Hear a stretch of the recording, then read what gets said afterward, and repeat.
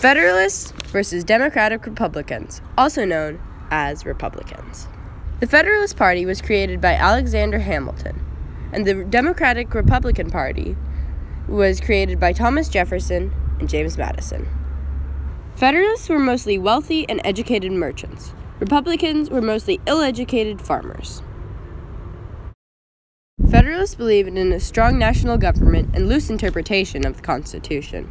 Their counterparts believed in states' rights over national government and strict interpretation. Federalists believed that the national bank was necessary, but the Republicans believed the opposite.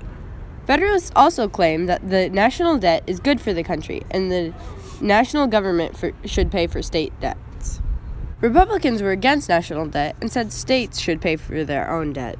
Federalists and Democratic Republicans also had different views on the whiskey tax. Federalists claimed that the tax is good for national debt. The Republicans believed that the tax was unfair to farmers. Federalists wanted high tariffs, while Republicans thought the tariffs should be low.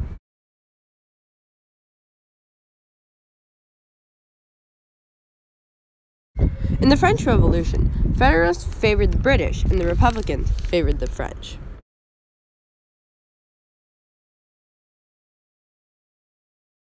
Federalists and Democratic Republicans had many differences. They all had one thing in common.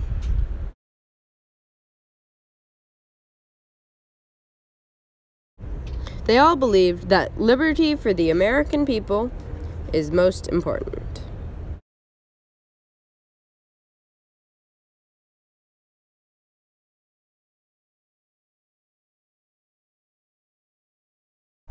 The end.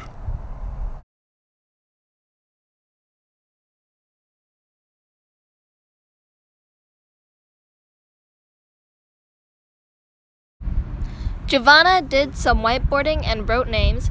Ashley did some whiteboarding and drew the bubs. Jordan also did whiteboarding and some coloring.